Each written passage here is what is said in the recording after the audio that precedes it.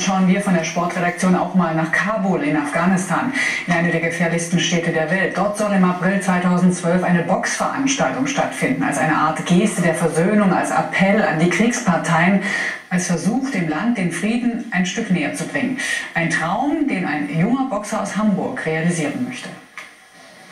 Das ist der Boxer, der diesen Traum träumt. Hamid Rachimi, 28, deutscher Mittelgewichtler Nummer 171 der Welt. Geboren in Kabul. Im Alter von neun Jahren floh er mit seinen Eltern, den beiden Schwestern und Bruder Wahid vor den Kriegswirren nach Hamburg. Hier kam ihm die Idee zum Friedenskampf, den die vier Weltverbände mit einem Friedensgürtel unterstützen wollen.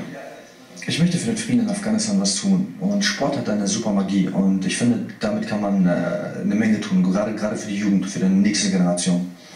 Dank Facebook und YouTube ist Hamid daheim ein Volksheld, sogar Werbestar im TV.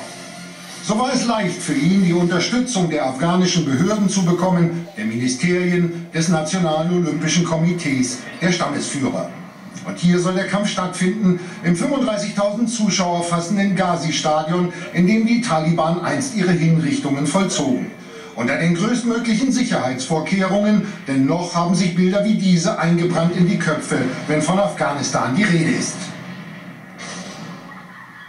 Dieser Kampf steht unter ganz klar anderen Vorzeichen als alles andere, was man sonst im sportlichen Bereich hat. Sicherheit ist das oberste Gebot, oberste Thema. Wir müssen alle Menschen, die dort mitbeteiligt sind, mit der größtmöglichen Sicherheit ausstatten.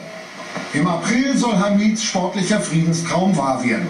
Hoffentlich wird er sich ebenso erfüllen wie sein privater. Vor einer Woche hat er in Hamburg seine Freundin Mariam geheiratet.